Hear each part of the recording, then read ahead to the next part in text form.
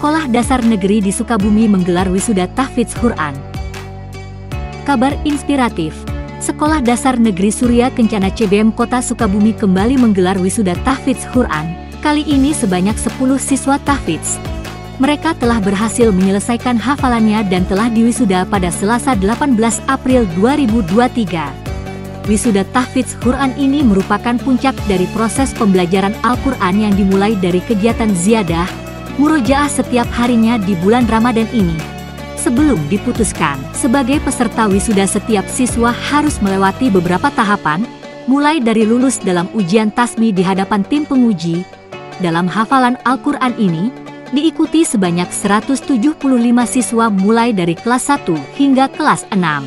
Kepala SDN Surya Kencana CBM, Usep Bagja berharap jumlah tahfidz yang berhasil lulus bisa terus bertambah setiap tahunnya, Selain itu pemerintah kota Sukabumi telah bekerja sama dengan Baznas dalam mendorong program Satu Kelurahan Satu Penghafal Al-Quran.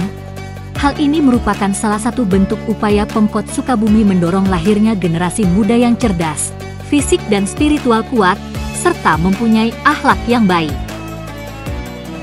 Kami kabar baik, menyampaikan kabar baik untuk warga Sukabumi.